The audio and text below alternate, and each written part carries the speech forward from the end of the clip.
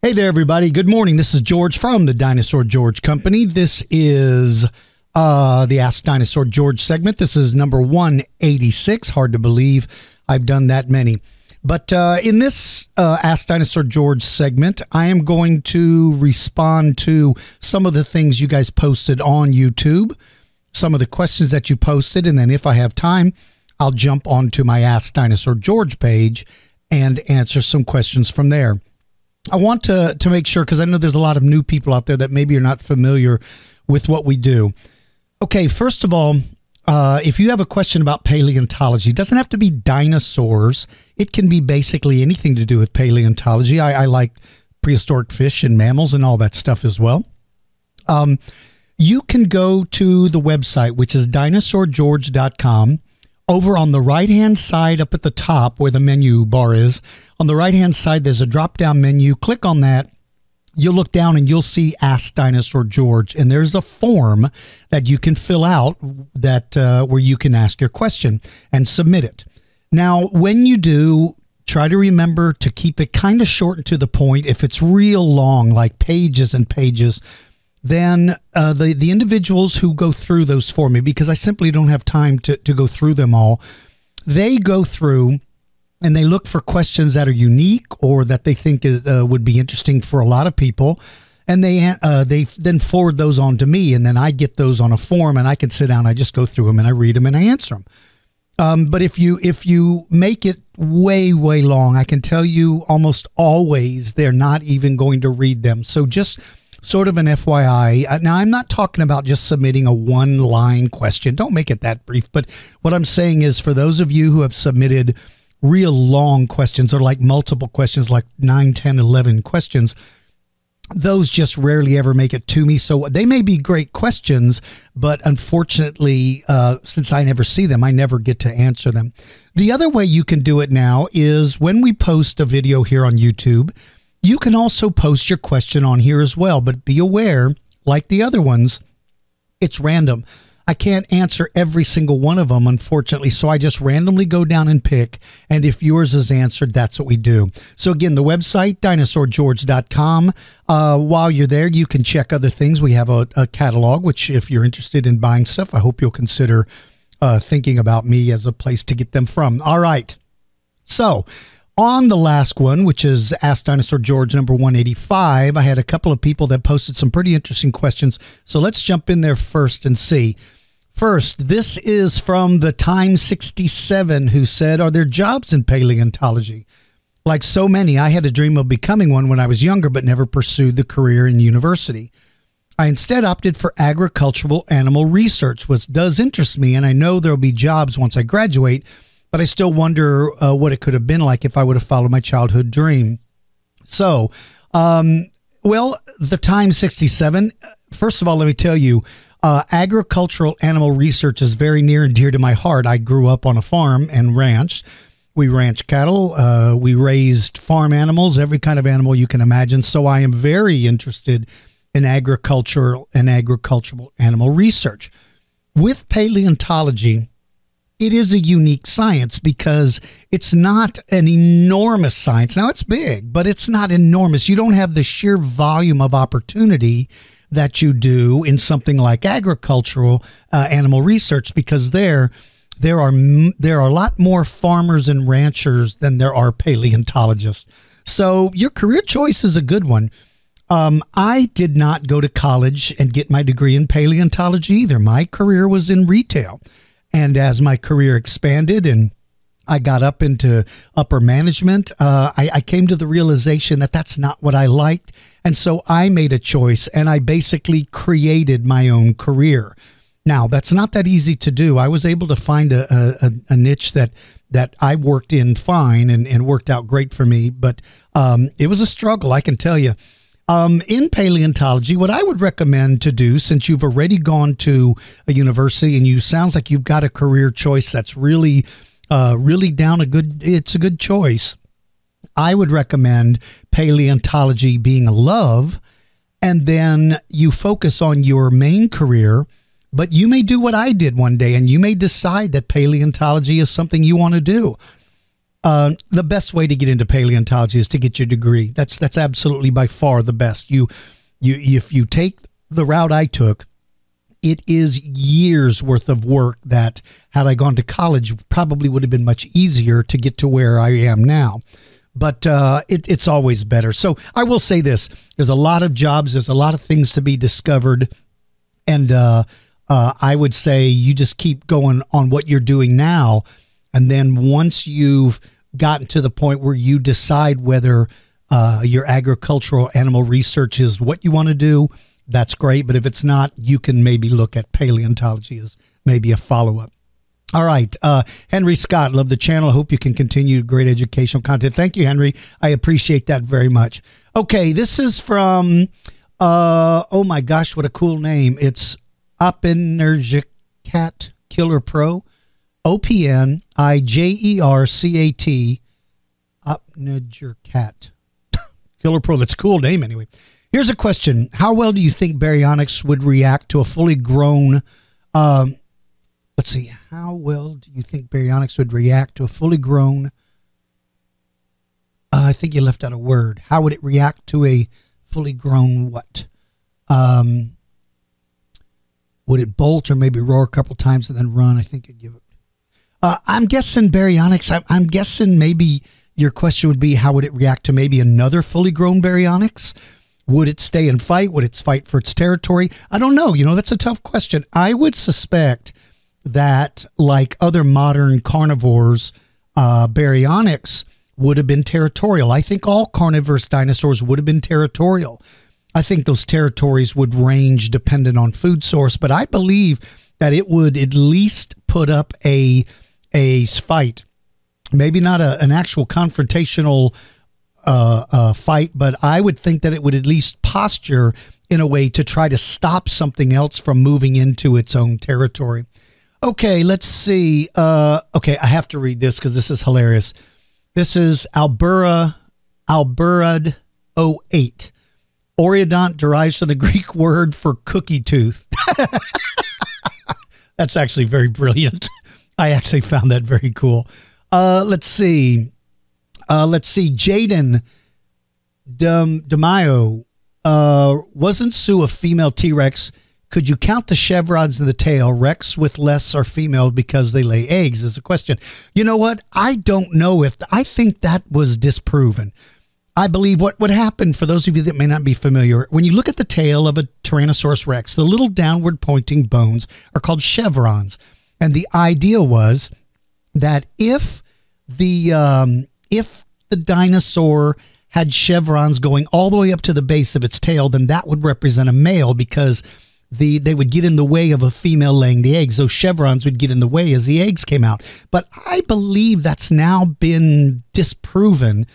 Uh, I think that there's such a variety of chevrons that it's hard to determine which is male is which is female. Now, in order to determine definitively which is male and female, they look for something called medullary bone, which is a bone that uh, uh, that a, a special formation of bone tissue that's only found in female birds and dinosaurs who were getting ready to lay eggs. And so it's almost like a supply, an extra supply of bone tissue that the calcium, I think, if I understand it correctly, that the calcium can be drawn from to form the egg without making the actual bones of the animal brittle. That's what I think the, I think that was the definition of it. But anyway, when they find that, that is definitive or as close to definitive proof as you can get that um, uh, that that that is a female. So there, but I don't think that the chevron thing works anymore because I think that they found that there's not a standard basic thing. There's not a there's not like a set number of chevrons that you can determine which is male and which is female. I think that's the case. Uh, okay, and then finally, uh, Prehistoric King writes, "Do you think Tyrannosaurus had lips?" Well, you know that's an interesting question as well. As did they have lips? Because there's been some debate about that. Now, lips like ours are utilized to be able to form words. That's why ours are so dramatic. We can form and sound words that maybe other animals simply can't do. well, they, we know they can't do because they don't have the lip structure to do it. It's also used to hold food in when we chew. Did dinosaurs like Tyrannosaurus have them? I don't think they were as pronounced, maybe, certainly not as pronounced as ours.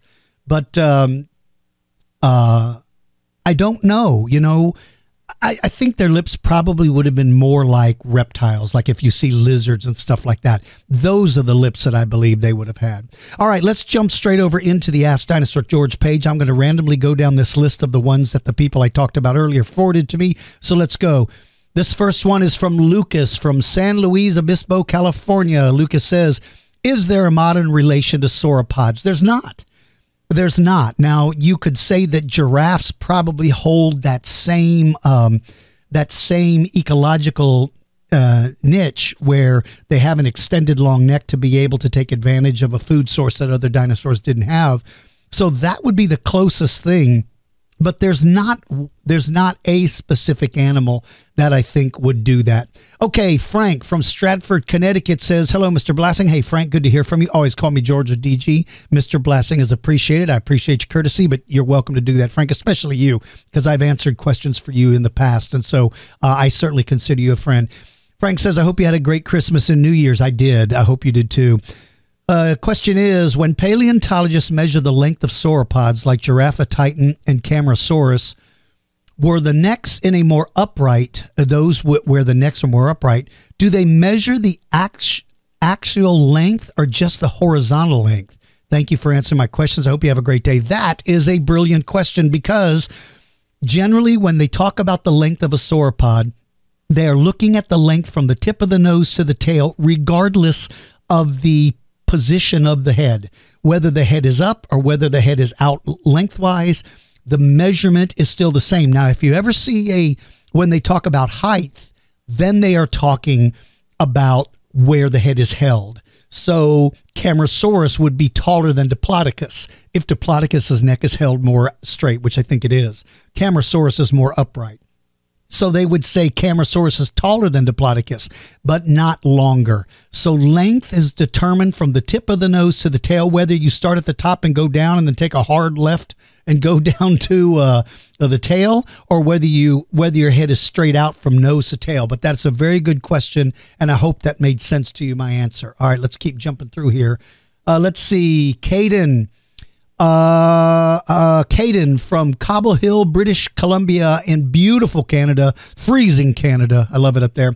Hey, DG, how um, how was your new year? How's your new year been? It's been great, uh, Caden. I hope yours is too. Well, he said, I'd like to know what what did you think about the trailer for Jurassic World? I have not seen it. Can you believe it? I, I've not seen the full trailer for the new Jurassic World. I saw bits and parts of it. I saw the part where the guy is running from a pyroclastic flow, which of course everybody is up in arms about because that's that's just not realistic, and I get that. Uh, but it it is um, that's the only thing I've seen. I, I've actually tried to not watch, if that makes sense. I've tried not to watch because I I I don't want to um, I don't want to um, uh I, I don't want to spoil it by getting too much of an opinion too early on. I want to be surprised when it comes out. All right, let's keep going here. This one is, uh, uh, uh, uh let's see. This is Reed from Newfoundland, Minnesota.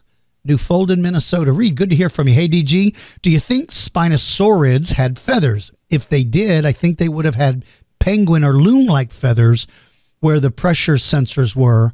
They could have had whiskers. What are your thoughts on that? Okay, to your question about feathers, it, it, all of the evidence right now, the good evidence that I've read suggests spinosaurids are aquatic or semi-aquatic. They didn't live in the water, but they're semi-aquatic. They spend a lot of time there. So, regular feathers are out the door. They're not going to have those kind of feathers because they would need waterproof feathers, things more like ducks or like in your case, like you said, penguins or loons. Now, here's the deal about feathers on birds they have a gland where they where an oily like substance is secreted and they use that to coat their feathers to keep them waterproof. You ever seen ducks doing that? Ducks look like they're ruffling through their feathers. They're spreading and making sure that that that uh, secretion is is helps cover their feathers to make them waterproof. The problem with the Spinosaurid is he doesn't have the flexibility to be able to reach all the parts of its body to do that. So I doubt that they had many feathers, if any. I think if there's any evidence of a of a theropod not having feathers, it would be the Spinosaurids. I don't believe they would have had them because I think it would have been a very difficult for them them to be able to keep them waterproof if they needed them. I mean, who knows? Maybe they had waterproof feathers, but I I just don't believe they would have had feathers. As to your other question about the whiskers around the, the snout, when you look at crocodiles, they have these little pinholes all over, and those little uh, pinholes can sense motion and movement and so the idea is that even in murky water, they can sense a fish swimming by and snap it up and grab it. So it's possible that Spinosaurid, because they seem to have those little holes all over their noses, it may be possible that Spinosauruses also had sensors. And maybe it wasn't whiskers necessarily, because crocodiles don't have whiskers, just those holes serve the purpose. I believe that they may have had something like that to be able to assist them in catching their prey because you can't rely on clear water. In fact, you don't want to hunt in clear water because clear water means that your prey can see you just as easily. So I believe that they probably had sensors in their snout and maybe they kept their snout moving through the water. Um, if you ever seen a spoonbill or a or uh, I use spoonbill because they move their head from side to side and they go through the, the water and they can snap up anything that moves and they can filter feed and use that, that mouth to stir up mud. They want it to be muddy. So I believe that they probably had sensors in their snouts that they would have used to be able to find their meal. All right, let's go with Zane from Bristol, Indiana. Hey, Dinosaur George, I got some more questions for you, buddy. Well, good, Zane. I've got some answers for you. Do you think dinosaurs could show emotions?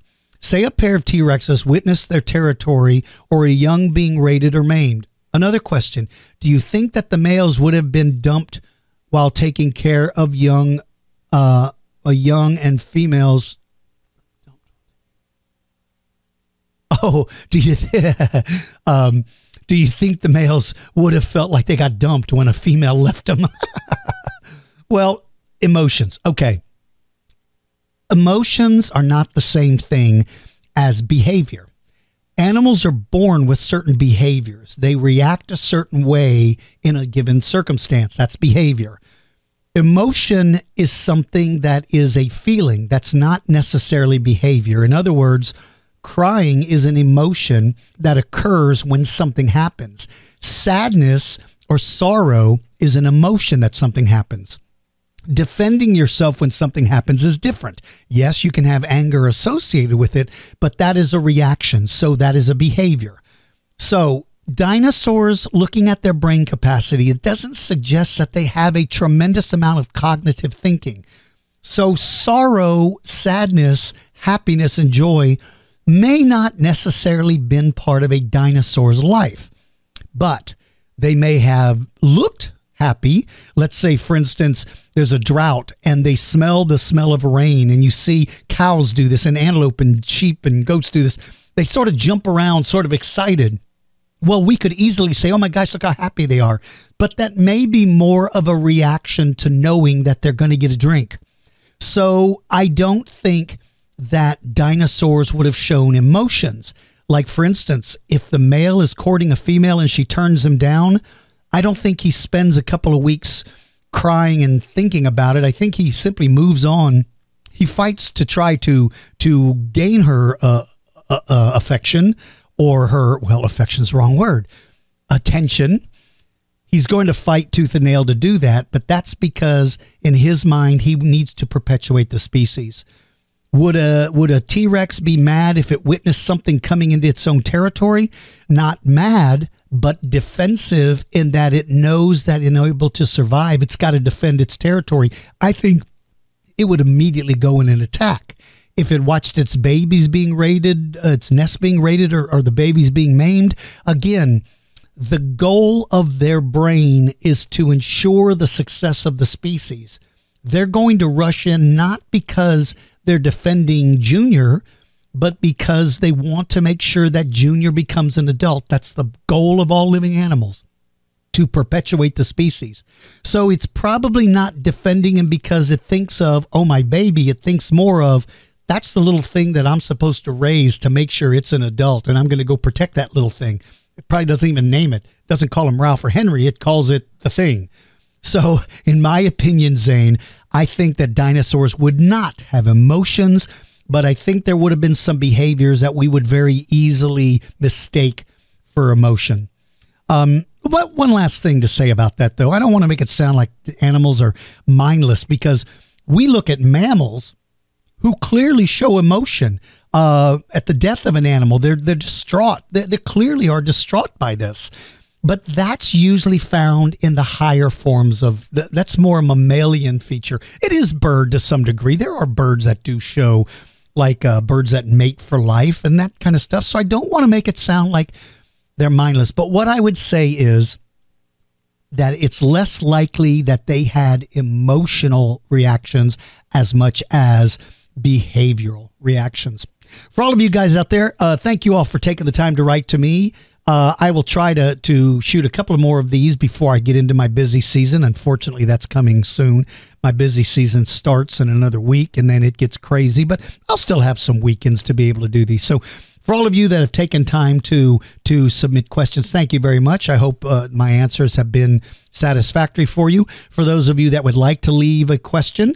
Uh, go to my website, dinosaurgeorge.com. Go over to the right on the menu bar look at the drop down, click on the Ask Dinosaur George page. While you're on my website, I hope you look at my catalog. Um, I've got a lot of stuff on there.